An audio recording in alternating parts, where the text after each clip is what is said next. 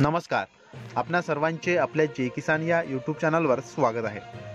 मित्र हो आपल्या राज्यामध्ये पुढील काही दिवसामध्ये आपल्या राज्यातील विविध भागामध्ये आपल्याला वादळी पावसासह काही भागामध्ये गारपिटीची शक्यता सुद्धा नाकारता येणार नाही आहे तर मित्र हो दिनांक सोळा तारखेला पूर्व विदर्भातील भंडारा गोंदिया गडचिरोली चंद्रपूर नागपूर यवतमाळ वर्धा आणि अमरावती इत्यादी जिल्ह्यामध्ये आपल्याला वादळी पावसासोबतच काही ठिकाणी गारपिटीची शक्यता सुद्धा राहण्याची शक्यता आहे. तर मित्र सविस्तरपणे माहिती आपण जाणून घेणार आहोत. तर त्यासाठी मित्र हा व्हिडिओ शेवटपर्यंत नक्की बघावा. सोबतच आपल्या चॅनलवर जर आपण नवीन असाल तर आत्ताच या आपल्या यूट्यूब चॅनलला सबस्क्राईब करून साईडला असलेल्या बेलायकाला नक्की प्रेस करा. सोबतच हा व्हिडिओ जास्तीत जास्त शेअर पण नक्की करा. राज्यातील शेतकऱ्यांना पुन्हा एकदा अवकाळी पावसाचा फटका बसण्याची शक्यता आहे.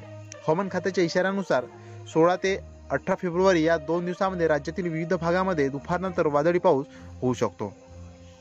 सोळा तारखेला पूर्व विदर्भातील भंडारा गोंदिया गडचिरोली चंद्रपूर नागपूर यवतमाळ सोबत वर्धा आणि अमरावती जिल्ह्यातील पूर्व भागात वादळी पावसाचा अंदाज आहे. या भागात कमी प्रमाणात गारपिटीची शक्यता सुद्धा नाकारता येणार नाही.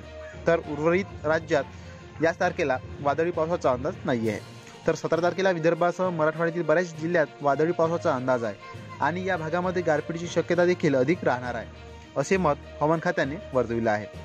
या दिवशी औरंगाबाद खानदेश आणि पश्चिम महाराष्ट्रात मात्र वादळी पावसाची फार शक्यता नाही आहे अठरा तारखेला मध्य महाराष्ट्रातील खानदेश नाशिक अहमदनगर आणि पुणे जिल्ह्यात वादळी पावसाचा अंदाज आहे आणि काही प्रमाणात गारपीटची शक्यता सुद्धा नाकारता येणार नाही.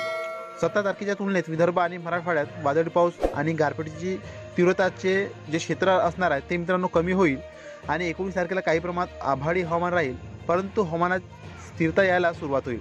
आणि एकूणच की वीस तारखेपासून राज्यात हवामान पूर्णपणे स्थिर होण्यास सुरुवात होईल.